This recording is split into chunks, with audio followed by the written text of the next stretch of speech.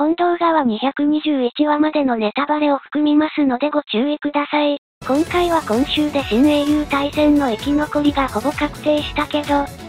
に対する読者の反応集を紹介します。正直新英雄対戦での活躍が一度も描写されなかった選手、タイドイル戦で出場しなかった選手、はほぼ選ばれないだろうと思うから、スペイン、バチラオトや、イングランド、ナギ、レオチギリ、イタリア、バローアイクニコア優先道深く、ドイツ、イサギ国神雪宮黒長が丸来地の17人派ほぼ確定で、残り派出番ありそうな日和とフランスで1試合目からスタメンの臨指導からす。残り2人派フランスでスタメン取れそうな時光と残鉄だと思うんだけどどうよ？アンダー20の本職ディフェンダーアイク以外全員消えそうなの辛いな。西岡とここでお別れなんて嫌だ。これ飯岡の永遠になっちゃうじゃん。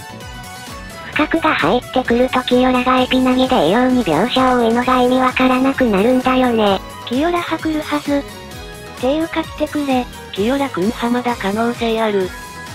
ある。正直日和と深くも3戦目の途中出場で生き残れるだけの都市棒残せるか不安。メタ的には入るんだろうけど、カタールワールドカップみたいに26人になる展開に期待。再派メンバーになりそうだけどなリンの話進まないし。26人の展開になるなら、ドイツエサギ、国神、雪宮、クロナ、ガガマル、ライチ、ヒオリ、スペインバチラ、オトヤ、イングランドレオ、ナギ、ちぎり、イタリアバロー、ニコ、アユー、アイク、仙道、深く、フランスリン、指導、カラス、時光、残鉄、2歳プラスキヨラプラス控えゴールキーパー3人目がしっくりくる。7世紀残ってほしいけど正直厳しそうなんだよな。残ってくれ頼む。原作者のサバ番好きをブルロに活かしてくるなら当確と思わせておいてのサプライズ脱落と残留があり得る。綿棒出たらそのまま海外行けることが泥ユッキーの件で分かったし生き残ってアンダー20出る選手がほとんどだろうけどそのまま海外に渡る選手もいると思うんよな。ガチな話でみんな的に西岡派出番なしキャラだと思う。ワールドカップ枠に選ばれてなおかつ出番なしだと面白いなとは思いつつ、貴重な枠それに使ったら読者が荒れるよなとも思う。飯をかすまねえ。最近になってイングランドいるの気づいた。残鉄をしてるからマジでフランス戦活躍してほしいけど、うん指導と輪が強すぎるな。活躍してもエピ投げ見てない人にはこいつおったんかレベルかもしれん。チム V 行く最高ほぼフォーカス当たらなかったし。あと性能の上位互換選手数名いるのと、指示待ちかつフィジカル頼りのままじゃ確実にドロップアウトだよなぁ頼むどうにか覚醒してくれ。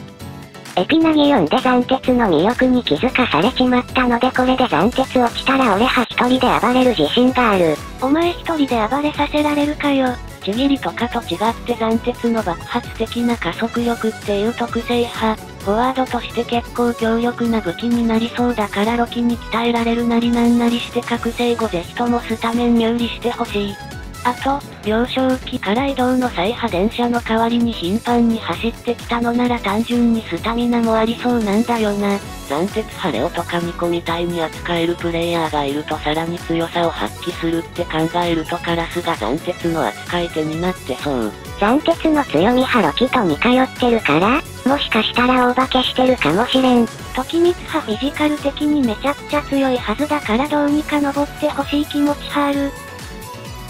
が上位層初回どころがめちゃくちゃはっきりしてるお多彩な感じだからな時光羽ネガという特徴が消えるかもだけどメンタル強化されたらかなり化け物クラスになる気がする。フランス派臨指導に気を取られすぎて実はカラスが一番ヤバいみたいな展開があってもおかしくない気はする。イガグリってさ、最悪年俸さえつけば本人として波状的だと思うんだけど、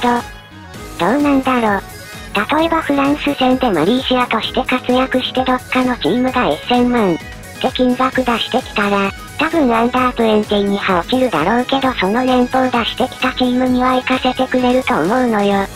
そしたらイガグリとしては実家のテラスがなくて良くなるしそれだけでかなり勝ちでは？まあまだ銭ゲバタヌキの策略というか何かしらは残ってるもんな。銭ゲバなんかしてくるとしたら対ブルーロックだしアンダープエンティワールドカップ始まる前のネオエゴだもんな。普通にこれから先の対戦カード全部熱すぎて邪魔しないでほしいけど、フォワードが飽和してるから端末の選手を応援しよう。で投票メンバー強制ローテハりうるかなと思ってるけどアンダープエンティとハイエ世界大会でそんなナメプするの最悪だろともなるし、でもそうでもしないと臨済アイクからすががまる。問い下げ、外す理由ないよな。イケメンだけになるのは避けたいって金城先生言ってたしイガグリかタプ坊主のどっちか入れてくるんじゃない？ご視聴ありがとうございました。